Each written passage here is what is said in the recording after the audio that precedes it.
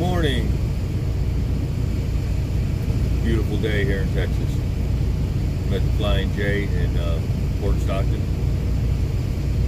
Uh, spent the night on the side of Lease Road again. Seems to be my favorite spot with that well. Drove down here, got some coffee, got something to eat. Uh, so right now, I'm a free-range chicken. that's what that's what the term I like to apply to my situation right at the moment.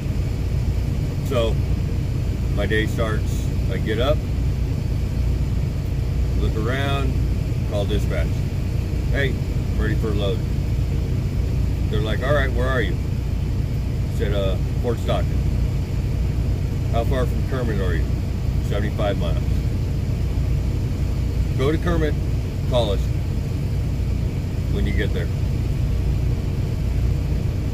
Like, all right, later. That happens all the time. Uh, depending on what dispatchers are working, they like to run their show however they like to run it, whatever works best for them. So this week's dispatchers, uh, they like to work it like that. They like to have you staged somewhere close to the loader.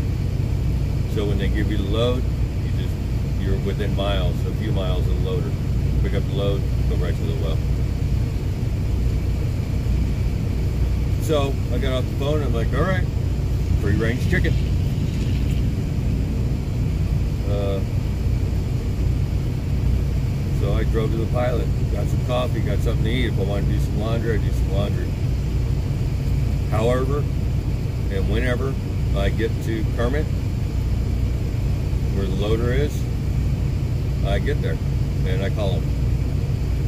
Up until then, they won't call me. They don't care where I'm at, what I'm doing. They just want me to call them when I get to Kermit. So, it's not like I'm burning up any time off my clock.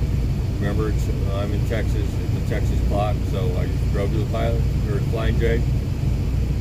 Went off duty. My clock stopped ticking down, so I could sit here for half an hour, an hour, two hours.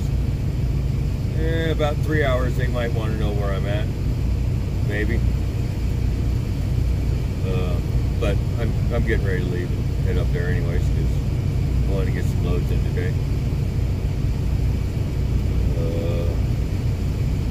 So yeah, free range chicken, man. It's it's not a bad thing to be. You know. Uh, no worries. So, all right. Well, I just wanted to throw that out there in case anybody wanted to know what free range chicken looks like. uh, all right. Give it a like. Watch my other videos, man, for some good information on what it's like out here driving for Stevens out here in the oil fields of West Texas. It's, it's, it's not a bad gig. It's uh, pretty nice. Pretty much run your own show. How much money you make is up to you. Uh, kind of. You know, it has a lot to do with the wells and stuff, but how hard you run, it's up to you. How much money you make is up to you. It's there. It's there. You just gotta just gotta get it. Alright, like I said, give it a like and uh, I'll talk to you later. Be safe out there.